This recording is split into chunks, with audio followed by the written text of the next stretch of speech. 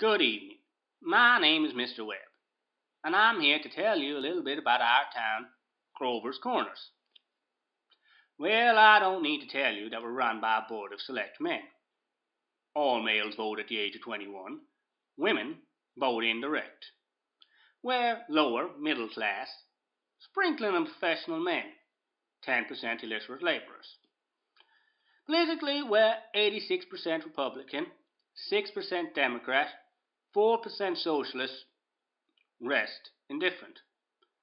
Religiously, we're 85% Protestant, 12% Catholic, rest indifferent.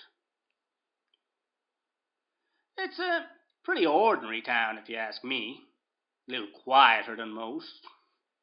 Probably a lot duller. But our young people seem to like it well enough. 90% of them graduating high school settle down to live right here, even when they've been away to college. I don't suppose there's much drinking done in Grover's Corners. Saturday night, a couple of the farm hands go down to Ellery Greenough's stable and holler some. We got one or two town drunks, but eh, they're always having remorses every time an evangelist comes to town. No. Now, I don't suppose liquor is a common thing in the household in Grover's Corners. Except in the medicine cabinet. It's real good for snake bites, you know. Always was. I know what you're thinking. I do. You're thinking, why isn't anybody talking about the social injustice and industrial inequality? Well, the truth is, we all are. Something terrible. Seems that all folk do is go around talking about who's rich and who's poor. And um, why don't we do something about it? Well, I don't know. I guess we're all searching for a way that the sensible and diligent can rise to the top, and that the lazy and quarrelsome can fall to the bottom.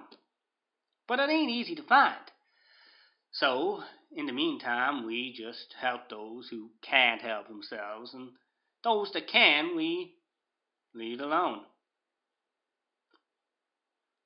I don't suppose that there's much in terms of culture in Grover's Corners.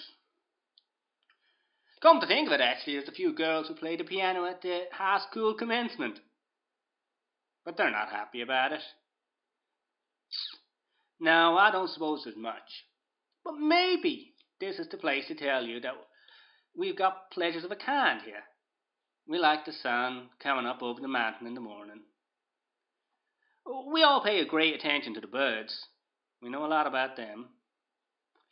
Uh, and the changing of the seasons. We all notice that. But those other things, you're right. There ain't much. Handel's Largo, Robinson Crusoe, Whistler's Mother, and the Bible, of course. But that's probably about as far as we go.